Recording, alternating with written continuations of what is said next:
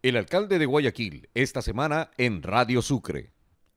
Todas estas cosas, desgraciadamente, van a alterar la estructura de costos de producción y por ende los precios al consumidor.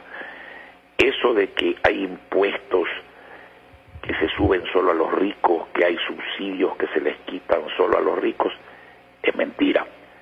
Porque cuando usted afecta a una empresa con impuestos, cuando usted afecta a una empresa con un cambio de costos de una materia prima, el costo de producción se altera y lo que hace el empresario es subírselo al costo del producto, al precio del producto. ¿Y quién paga ese precio del producto? El que lo compra.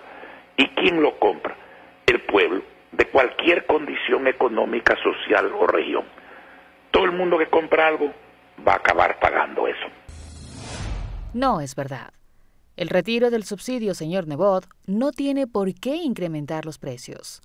Para el sector industrial, los combustibles representan el 1% del total de su estructura de costos en promedio.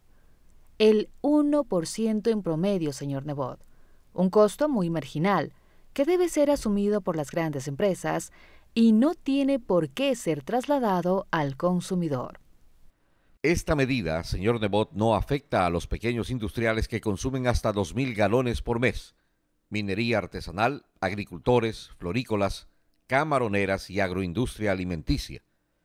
Tampoco afecta al sector del transporte terrestre nacional de personas o carga, ni a la pesca en general, es decir, no hay razón para que suban los costos de los productos o de los servicios.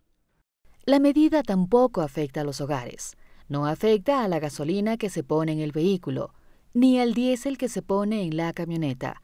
No afecta al común de los ciudadanos y no tiene por qué incidir en los costos finales de los productos.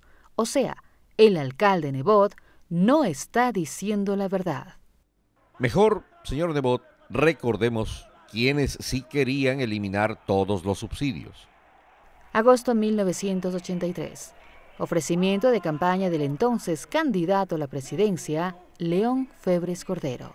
Estamos aquí para que el desarrollo industrial del Ecuador se ajuste a nuestras realidades, eliminando los subsidios.